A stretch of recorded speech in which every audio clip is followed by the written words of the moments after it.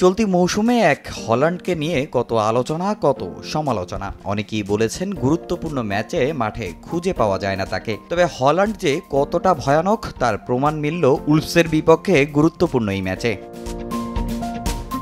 ইতিহাদে ম্যাচের শুরু থেকেই উলফসকে চেপে ধরে একের পর এক আক্রমণ চালায় ম্যানচেস্টার সিটি। গোল পেতেও বেশিক্ষণ অপেক্ষা করতে হয়নি তাদের। তবে ডিবক্সের মধ্যে গার্দিওলকে ট্যাকেল করায় পেনাল্টি পায় সিটি। সেখান থেকে প্রথম গোল করেন হল্যান্ড।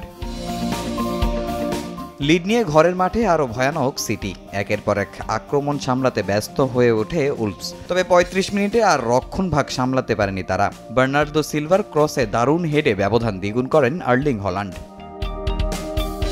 ইতিহাদে দিনটা ছিল শুধু হল্যান্ডেরই। চলতি মৌসুমে নিজের তৃতীয় হ্যাট্রিক তুলতে খুব একটা সময় নেননি তিনি। প্রথমার্ধের যোগ করার সময় পেনাল্টি থেকে ম্যাচের তৃতীয় গোলের দেখা পান হল্যান্ড। আর সিটির হয়ে দুই মৌসুমে নভেম্বরের মতো হ্যাট্রিক করেন এই নরিজিয়ান তারকা।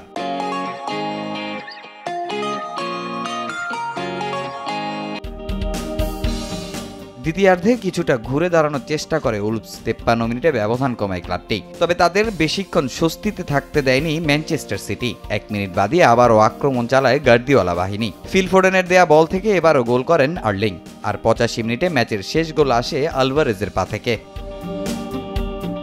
এ জয়ে প্রিমিয়ার লিগে শিরোপার লড়াই জমিয়ে তুলেছে ম্যানচেস্টার সিটি। এখন পর্যন্ত ছত্রিশ ম্যাচে তেরাশি পয়েন্ট নিয়ে সবার উপরে আর্সেনাল।